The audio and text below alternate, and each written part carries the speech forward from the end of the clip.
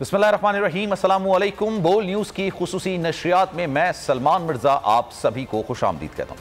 जनाब, हुकूमत और पाकिस्तान तरीक इंसाफ के दरमियान मुजाकर का तीसरा दौर बेनतीजा ख़त्म हो गया। असम्बलियों की तहलील और मुल्क भर में इलेक्शन की तारीख पर इतफाक ना हो सका हो सका। मुजाकर का एक और सेशन होगा अगला दौर कब होगा, तय नहीं हो सका है। शाहमुद कुरैशी कहना है कि पंजाब में इलेक्शन 14 मई को होने चाहिए, तहरीरी मौकफ सुप्रीम कोर्ट में देंगे। कौमी सिंध और बलूचिस्तान असेंबली के इंतबात साठ दिन में कराए जाएँ। आईनी खिलाफ वर्जी से बचने के लिए, तरमीम के लिए कौमी असम्बली में जाने को तैयार हैं। इसहाक डार का कहना था कि दोनों जानब से लचक का मुजाहरा किया गया। अपनी अपनी क्यादत से मुशावरत करेंगे, मजीद बात करेंगे। मुल्क में एक ही दिन इलेक्शन होने चाहिए। इलेक्शन के वक्त पूरे मुल्क में निगरा हुकूमतें होनी चाहिए। लेकिन जनाब, ये जो मुजा तीन दौर इसके चले थे, ये तीनों अभी फ़िलहाल जो निगार नज़र आ रहा है, उसमें बताया जो लगना है, उसमें ये नाकाम हो चुके हैं। और अब जो सूरत हाल ये बन रही है कि पाकिस्तान तरीक इंसाफ के वाइस चेयरमैन और जो मुजाकराती कमेटी का हिस्सा भी थे, शाम कुरैशी साहब ने कहा है कि हम सुप्रीम कोर्ट में जाएँगे गालिबन कल वो जाएँगे और वहाँ जाके कहेंगे कि जनाब आइन जो कहता है, सुप्रीम कोर्ट उस पर अमल दरामद करा ले। अजहर सिद्दीक साहब हमारे साथ मौजूद हैं, जरा उनसे मजीद बात करते हैं। अजहर सिद्दीक साहब, ये चार पाँच दिन जो ज़ाया हुए हैं मुजाकर नाकाम हो गए। अब ये चौदह मई का जो फैसला है, यही इम्प्लीमेंट होगा।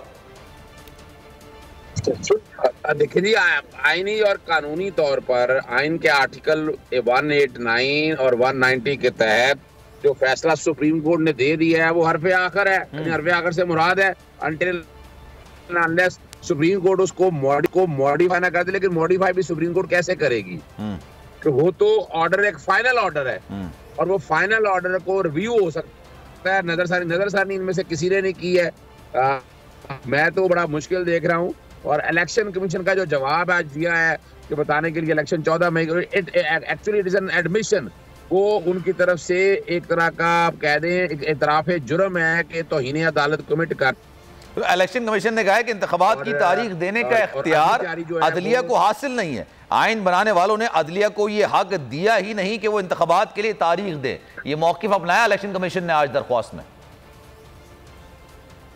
मैं मैं मैं वही आपके सामने रख रहा हूँ कि यहीं से आप अंदाज़ा लगा लें कि अगर इनको इतना अंदाज़ा था इस चीज़ को सामने रखते हुए आ, तो मैं बड़ी मज़ेदार बात आपके सामने रखता हूँ। आपको तारीखी तौर पर पता होगा कि पहले इलेक्शन कमीशन को कहा दस फरवरी को लाहौर हाई कोर्ट ने कि आप गवर्नर के साथ मुशावरत करके तारीख दे दें। अब इलेक्शन कमीशन वो बात नहीं माना। आप अंदाज़ा लगाएँ इलेक्शन कमीशन का क्या कंसर्न इस बात से? कि तारीख कौन देगा कौन नहीं देगा। आपका काम इलेक्शन कराना है आपको इससे क्या लेना देना? आपका ये काम है बैठ के तो मैं यही तो कह रहा हूँ इस चीज़ को सामने रख के तोहिन अदालत हो गई है। हम्म। और मैं तो समझता हूँ सेक्रेटरी इलेक्शन कमीशन को बुलाए और बुला के जेल भेजे पहले दिन ही जेल भेजे सिर्फ़ इन्हीं को नहीं है। हम्म। और सेक्रेटरी फाइनेंस तो पैसा लेकर बैठे हुए हैं। अपना बीस अरब रुपया तो आटे आटे करप्शन की जिमन में आपके सामने आ गया। लैपटॉप हम्म। स्कीम में उन्होंने पैसा जो लेना था वो ले लिया। फिर इसी तरह इन्होंने जो फंड के नाम पर पैसा बनाया है वो भी अब चीज़ सारी सामने आ गई। एक एक चीज़ अब सारा कुछ रिकॉर्ड पे आ चुका हुआ है। अब अब मौसम जो है ना वो तोहिनी मौसम जो है ना वो तोहिनी अदालत का शुरू हुआ चाहता है। और इसमें मैं नहीं समझता कि अभी फ़िलहाल वज़ीर आज़म या काबीना को इन्वॉल्व नहीं को उनका क्या कंसर्न है? उनको एक क्लर्क उनकी तरह डील करना चाहिए कि वो एक कस्टोडियन का क्या ताल्लुक है सारे काम में? इलेक्शन कराने हैं निगरान हुकूमत ने और इलेक्शन कमीशन है असल तो है इलेक्शन कमीशन जो अपना आईनी और कानूनी इख्तियार इस्तेमाल नहीं कर रहा है। तो हम जो पैसे दे रहे हैं इनको जो टैक्सों का पैसा इनको बजट जाता है वो किस काम के लिए है? वो हम इनकी इनके जो लवाजमात है जो जो आप बड़े बड़े दफ्तर हुए हैं मुलाजम रखे हुए हैं इतने हज़ारों वो इसलिए तो नहीं है? वो तो इसलिए है कि इलेक्शन कराने हैं। और ये जो इख्तियार है ना जो सुप्रीम कोर्ट इस्तेमाल कर रही है आर्टिकल 190 के तहत या 189 के तहत उस पर जजमेंट पे अमल दरामद करना है। ये इलेक्शन कमीशन को भी आइन के आर्टिकल 220 के तहत दिया हुआ था। ऑल एग्जेक्टिव थ्रू आउट है। Pakistan to act in eight यानी जो अगर तोहिनी अदालत की कार्रवाई करनी है तो ये इख्तियार इलेक्शन कमीशन के पास भी था। क्योंकि वो लहदा बात है कि वो कोर्ट नहीं है ट्राइब्यूनल नहीं है। 220 इख्तियार के तहत ये वाकई हुकूमत को कहती सेक्रेटरी फाइनेंस को बुलाती आओ भी यहाँ तो कि तुम्हारा काम है। तुम्हारी ज़िम्मेदारी पूरी नहीं ठीक है अच्छा सिद्दीक साहब ये बताइएगा। अब गालिबन कल जो समात होगी और इस समात में ज़ाहिर सी बात है शाह महमूद कुरैशी साहब वो रिपोर्ट जमा कराएँगे कि जनाब मुजाकर में क्या कुछ होता रहा। और गुजशत रात की जो उनकी गुफ्तु है आज वो है आज भी उन्होंने ये बात कही है कि जनाब आइन पर आइन जो कहता है उस पर अमल दरामद करा दे। तो सुप्रीम कोर्ट की जानब से ये वाजह कमाते हैं कि चौदह मई को इलेक्शन होंगे। अभी मैं ख्वाजा आसिफ साहब का बयान पढ़ रहा था, उन्होंने कहा कि जनाब चौदह मई को असम्बलियाँ तो नहीं टूटती।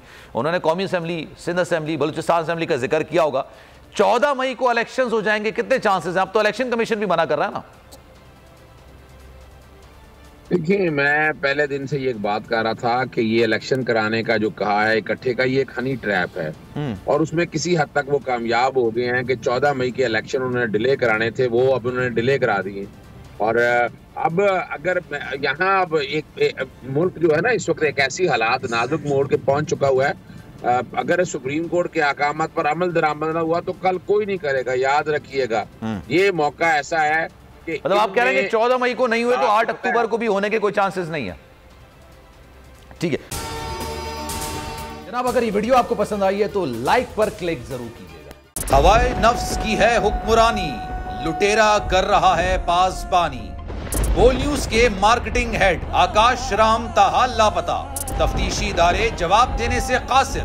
अहले खाना परेशान बेटे की जुदाई में माँ गम से निढाल। जो बच्चों हिंदू आए थे जो Kohn Pakistani.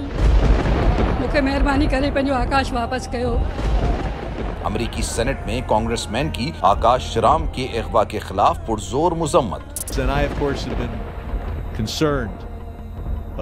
uh, Some of the abuses of human rights in Pakistan. United Nation ने भी आकाश राम की बाजियाबी के लिए मौसर इकदाम उठाने का इंदिया दे दिया। मुश्किल की इस घड़ी में आर्मी मीडिया समेत इंडियन मीडिया भी चीख चीख कर आकाश राम की बाजियाबी के लिए आवाज़ उठा रहा है। आलमी सहाफती तंजीम और इंसानी हकूक की आलमी तंजीमों की भी आकाश राम के अगवा की मजम्मत। उफ, क्या जुल्म है। बोल इंसाफ का मुंतजर। सब्सक्राइब करें और बेल दबाएँ ताकि कोई खबर रह न जाए।